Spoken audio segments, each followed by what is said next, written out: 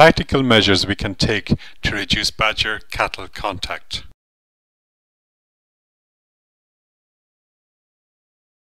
A typical badger sett on a Northern Ireland farm.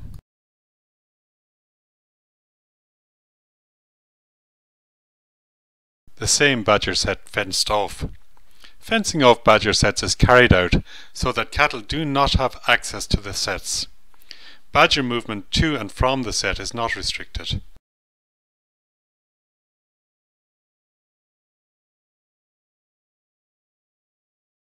You can put two strands of wire on the fence if there are young cattle.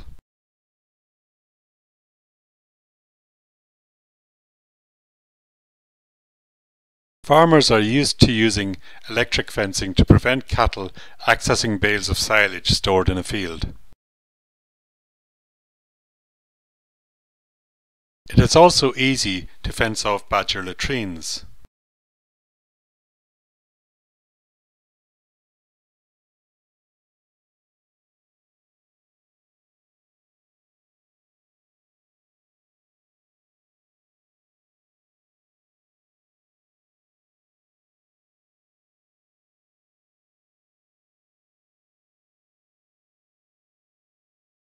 A lot of work was carried out by Food and Environment Research Agency, or FERA, now FERA Science Limited.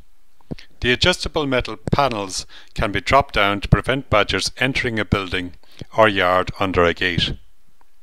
The adjustable flap serves the same purpose. The panels and flap can be lifted up to allow the gate to move freely over an uneven surface.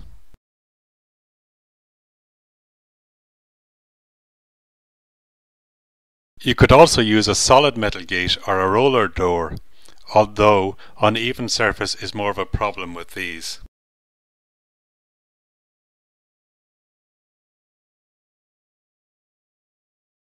It is very important to stop badgers accessing concentrate feed, whether in the feed store or on pasture.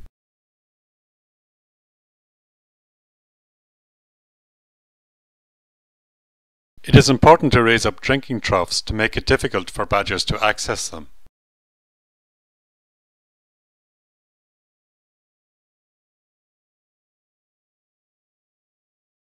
It is also a good idea to close off the silage face when not in use.